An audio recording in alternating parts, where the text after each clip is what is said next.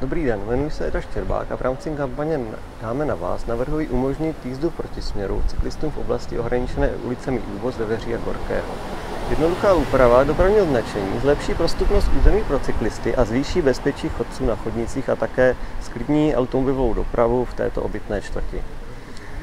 Tenhle projekt byl podpořen z hlediska proveditelnosti magistrátem města Brna, takže teďka je to jenom na vás, jestli ho podpoříte také. Děkuji.